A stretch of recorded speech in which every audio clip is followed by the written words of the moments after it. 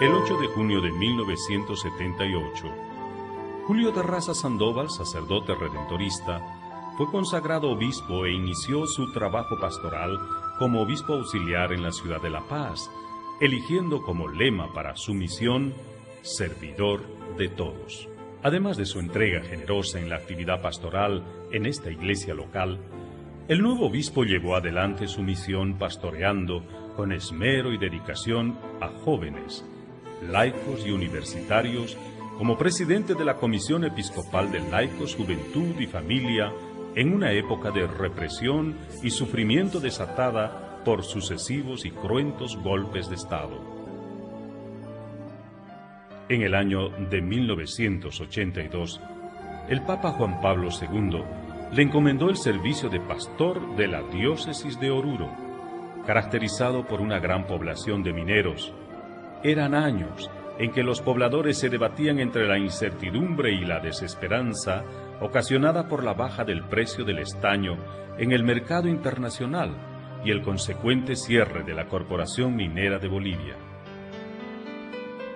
En ese contexto, y en consonancia con las líneas de Medellín y Puebla, dio un gran impulso a las comunidades eclesiales de base, animando, dando esperanza y revitalizando la fe de un pueblo cansado de tanta injusticia.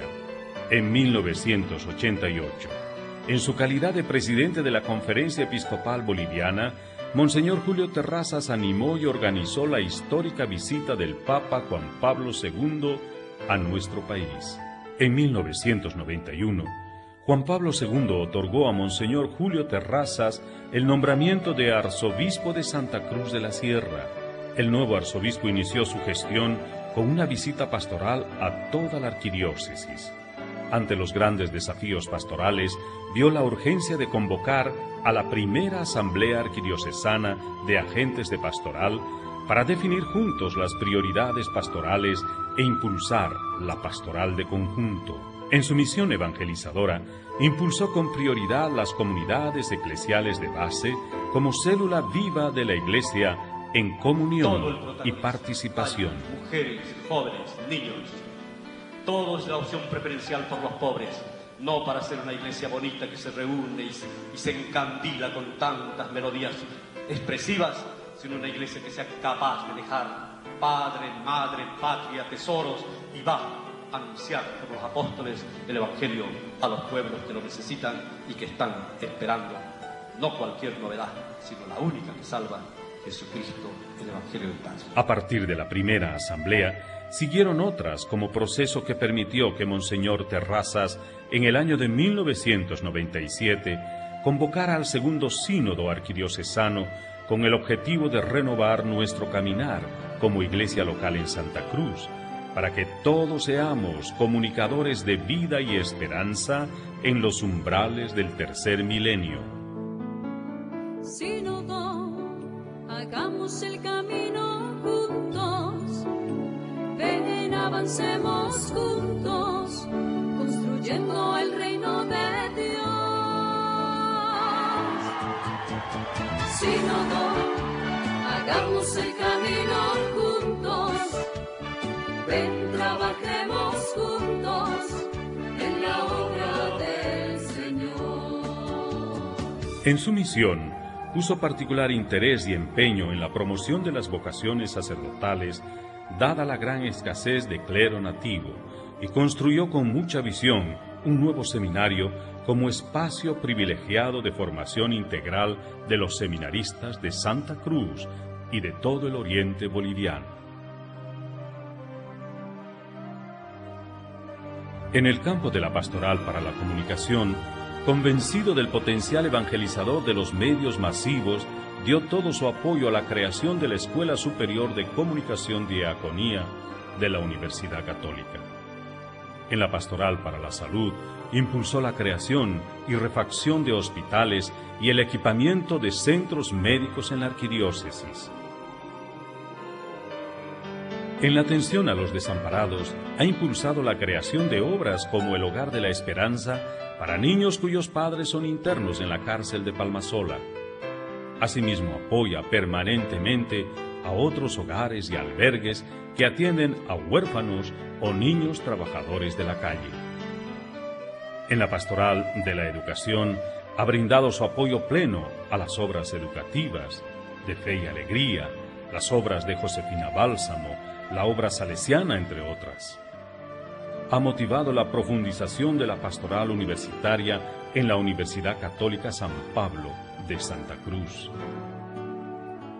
En la pastoral social y Cáritas, su apoyo ha sido vital para la atención de los damnificados por las inundaciones, el retorno de los refugiados guatemaltecos a su patria, el apoyo a los inmigrantes con casas de acogida administradas por diferentes congregaciones religiosas.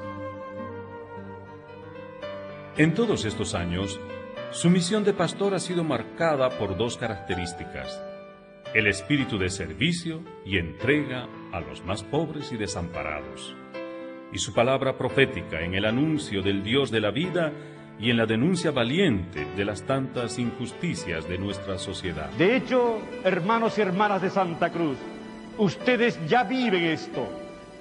Nadie está empezando de cero, pero hagan mayores esfuerzos y progresos todavía. El día 26 de febrero del 2001, Juan Pablo II lo nombró cardenal, despertando una explosión auténtica de gozo y alegría en todos los habitantes del país que le brindaron una fraternal bienvenida al servidor de todos.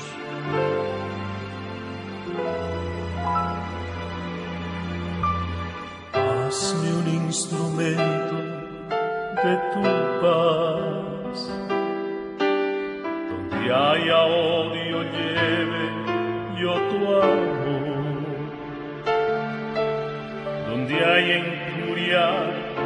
perdón, Señor. Donde haya duda, en ti. Hazme un instrumento de tu paz. El Señor habla el lenguaje del sencillo. Hay que orar a Dios, que es nuestro Padre, para captar y comprender el sufrimiento de uno, las responsabilidades de otro, el hambre de las mayorías. Hay que orar lo pide el Señor. Cuatro años después de su nombramiento cardenalicio, participó en el cónclave que eligió al nuevo pastor de la Iglesia, el Papa Benedicto XVI, en abril del 2005. Actualmente es arzobispo de la Arquidiócesis de Santa Cruz de la Sierra, presidente de la Conferencia Episcopal Boliviana, miembro del Pontificio Consejo para América Latina y es moderador del Comité Ejecutivo del Consejo Latinoamericano y Caribeño de líderes religiosos que trabajan por la paz. La Asociación Nacional de la Prensa resolvió entregar el Premio Libertad 2007 al cardenal Julio Terrazas para reconocer su notable trayectoria y su actividad como guía y conciliador en defensa de la democracia, la paz, la justicia, los derechos humanos y la libertad de expresión.